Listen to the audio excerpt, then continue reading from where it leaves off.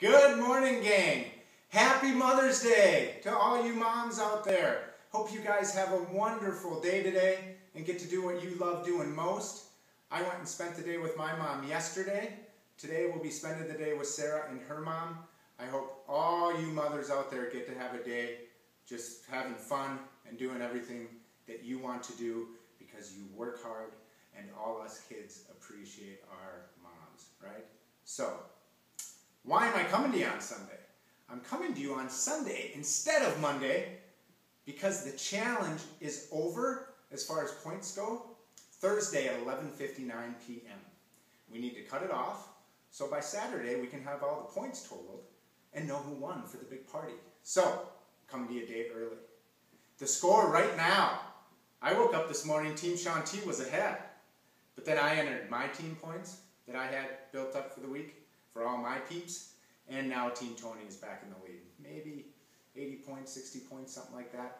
It is super, super close, guys. Anyone's game right now. And to make it a little more fun, I'm going to update the scoreboard after this video one more time. Then, I'm going to visit our Google document that all us coaches have been adding, and at the top it has a scoreboard that adds the score as we go. I'm going to pull the plug on that and delete it. So nobody's going to know who won until I go back and add the formula in on Sunday to see who won. I thought that'd be a little more fun for all us coaches. So as we're entering, we don't, we don't know who's winning. So we can't give updates.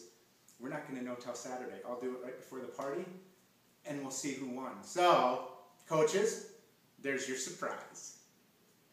It's week eight. One last challenge. This is my favorite challenge. We call it the Be Proud and Inspire Challenge. What is the Be Proud and Inspire Challenge?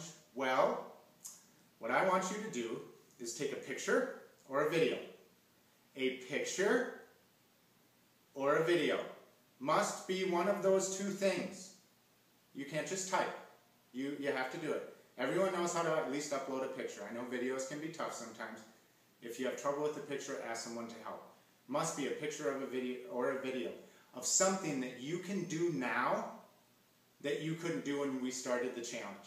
It might be the fail challenge that we had really early on, I think in week two, where people were, I want to be able to do uh, on my toe push-ups. I want to be able to do a pull-up. It might be that. Now you can do it. Awesome. Take a video of it and post it, right? Or maybe you can't do that yet. Maybe you can get halfway. Awesome. That's better than when you started. Take a picture or video of it. Or maybe it has nothing to do with an exercise. Maybe it's your belt loop is you're three holes in. Or you're eating healthy now. Here's a picture of my dinner. I used to eat McDonald's. Anything that you can do now that you couldn't do when we started that you are proud of. Post it in the group. You get five points.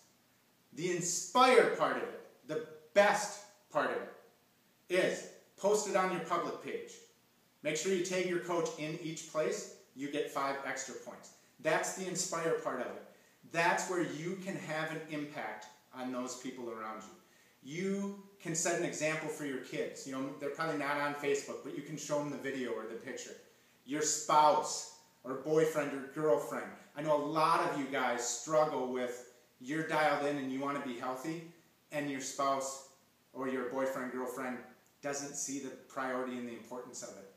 Show them that it's important to you. You might have a family member, a parent, maybe your mom that you want to show, please be healthy.